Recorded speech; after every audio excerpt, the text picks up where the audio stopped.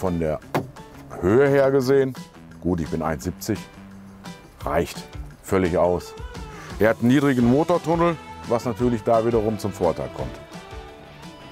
Ich denke mal auch bis 1,80, 1,85 dürfte es kein Problem sein. Vielleicht auch 1,90.